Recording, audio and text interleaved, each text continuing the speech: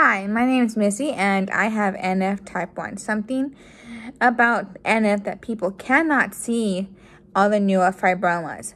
The neurofibromas are on me are either covered by a mask, makeup, or by clothing. Something about me that people do not see because of the NF is um, how hard it is for me to pick up a new thing to learn. That's the most hard that people don't understand.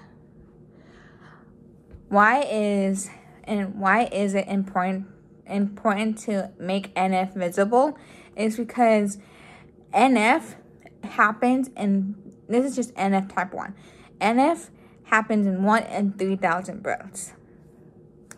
And I want I want you to see me and NF.